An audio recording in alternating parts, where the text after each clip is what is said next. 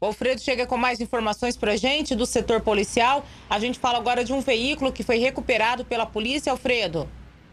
Isso mesmo, Ana. Um veículo que estava com queixa de furto foi recuperado por um policial militar de folga na manhã de ontem. Ele que voltava do plantão dele acabou passando pela rua Manuel Pedro de Campos, ali no bairro Nossa Senhora Aparecida, quando encontrou o carro parado, o veículo Gol parado no meio da via na contramão e resolveu verificar o que estava acontecendo dentro do carro. Dentro do carro, ele encontrou vários, várias roupas, peças de roupas, entre outros objetos e um aparelho celular.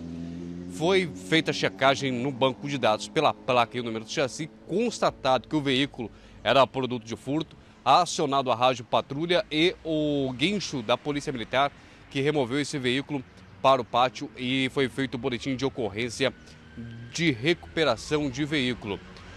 E ontem, Ana, uma operação entre a Polícia Militar em Selvíria, que é lotada aqui pelo 2 Batalhão, e também pela Polícia Militar do Estado de São Paulo, conseguiram deter três homens responsáveis por um roubo ontem à tarde ali na cidade de Santa Fé do Sul.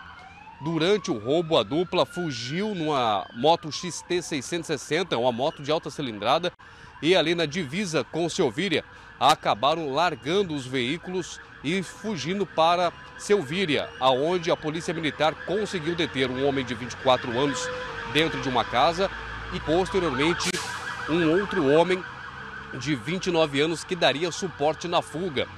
Um menor de 17 anos foi apreendido, menor esse que seria dono da arma utilizada no crime, uma espingarda de pressão modificada para calibre 22, Ana.